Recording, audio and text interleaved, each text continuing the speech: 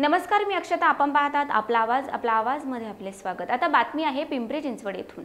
महानगरपालिकेच्या record break नऊ तास चाललेल्या व महापौर माई ढोरे यांनी चार वर्षात पहिल्यांदा अंदाजपत्रक बैठकीत एवढे फ्री बोलून दिल्याने सर्वांनीच मुक्त हस्ते बॅटिंग केली आहे जलपर्णी काढणाऱ्या ठेकेदाराला काळ्या यादीत टाकण्याचा आग्रह माजी महापौर आणि नगरसेवक राहुल जाधव यांनी महापौर माई ढोरे यांच्याकडे केलाय. पाहुयात काय म्हणाले राहुल जाधव? याच बातमीची दृश्य पाठवले आहेत आमचे विभागीय संपादक रोहित खरगे यांनी. मंजूर आपणच करतो ना? पहिलाच आहे आमची लोक काय आम्हाला असं कोणाचं बोलणं घालण्यासाठी इथे निवडून पाठवत नाही.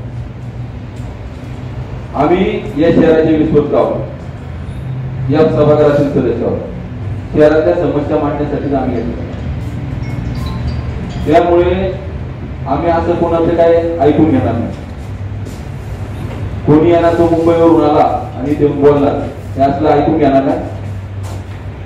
महापौर मोदय आजच्या मीटिंगमध्ये त्याला ब्लॅकलिस्ट करण्याचे आदेश तुम्ही ऐकलं नाही. आणि इथून पुढचे कोणतेही बिल त्याला आला तो. पहिल्यांदा त्याला अठ्ठावीस लाखाचे एक बिल दिले. एकोणपन्नास लाखाचे एक बिल दिले. दोन कोटी एकोणतीस लाखाचं त्याचं शेत आहे. इथून पुढचं त्याला कोणतंच बिल दिलं? नसेल.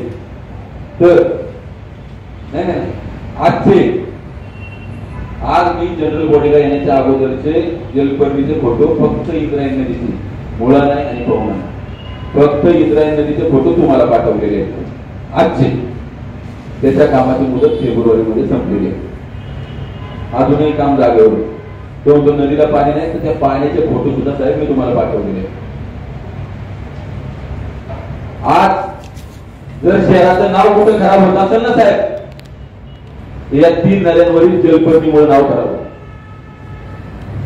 एक दिवस मुशीला दशक्रिया होती. मुलाचा मुबारट्यांची आणि त्यांनी ते प्रवचन ठेवलं होतं. आमच्या भागात ठेवतात. एवढे मच्छर त्या दशक्रिया घाटावर होते ना साहेब? महाराजांचा हात सुद्धा जागेवर राहत नव्हता.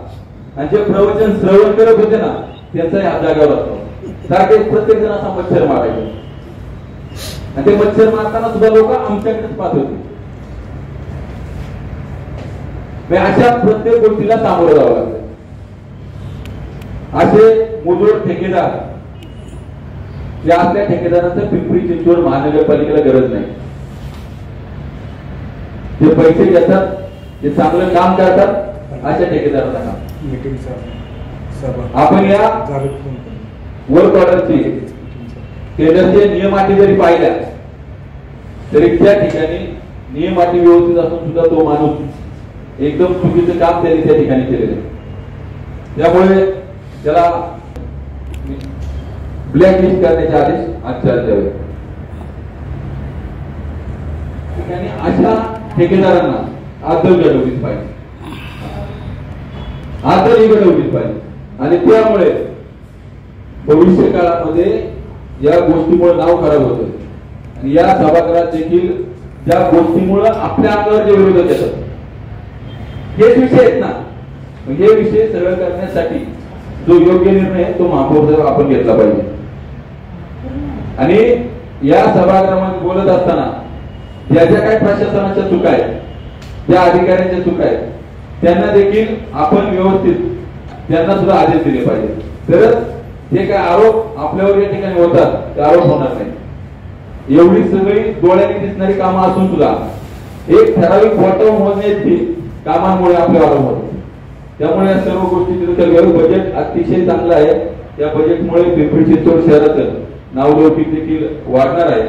मी सर्वांचं मनापासून स्वागत करून या ठिकाणी आमचं जय हिंद जय महाराष्ट्र. अशाच ताज्या बातम्या आणि महत्त्वाच्या घडामोडी पाहण्यासाठी आपला आवाजला सबस्क्राईब करा आणि बेल आयकॉनवर प्रेस करा.